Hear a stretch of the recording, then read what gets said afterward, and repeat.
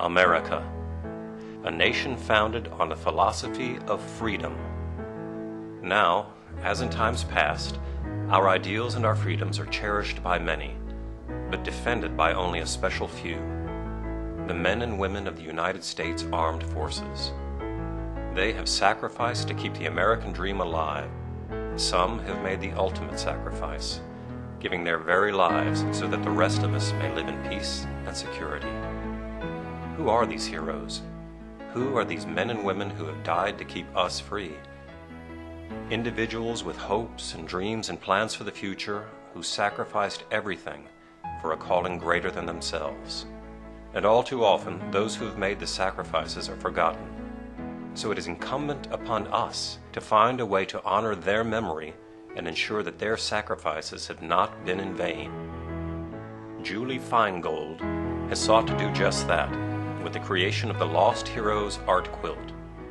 This unique and amazing work of art is Julie's personal tribute to our fallen heroes from the Iraq and Afghanistan wars.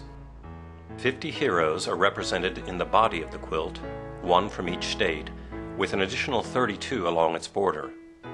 These 82 are symbolic of all our fallen heroes. They come from all ranks and cultural backgrounds. Seeing each hero in a childhood photograph and sewn into a vintage G.I. Joe jacket creates a powerful first impression. Indeed, each of these heroes was someone's child. In this non political, complex work, Julie includes references to past wars and the history of quilt making in America. The four corners of the quilt include symbols reflecting the religious tolerance in our nation. Viewers will also find a secret message embedded in the quilt's design. Even the colors of the quilt have significance, showing the great thought and sensitivity that went into its creation. The quilt is displayed on a magnificent architectural frame designed and crafted by artisan Michael Scarborough of New York City. He chose American white oak to symbolize the strength of America's fighting men and women. Each branch of service is represented by one of its historical insignia.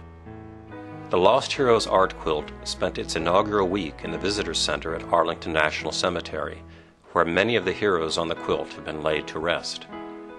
It has since been traveling across our country, at Journey's End, BAE Systems has stepped forward with a very generous offer to purchase the quilt, with proceeds going to TAPS and CAUSE, which offers programs for our wounded warriors.